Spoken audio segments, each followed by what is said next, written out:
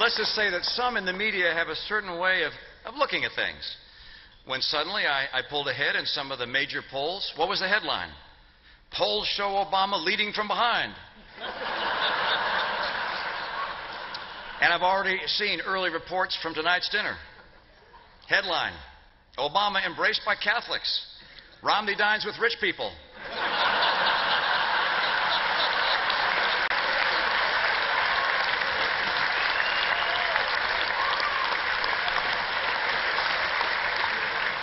Of course, the president has put his own stamp on, on relations with the church.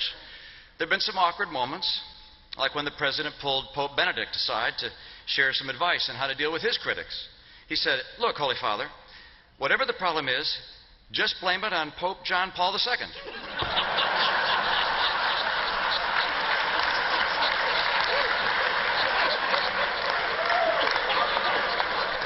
Of course, the president has found a way to take the sting out of the Obamacare mandates for the church. For now on, they're going to be in Latin.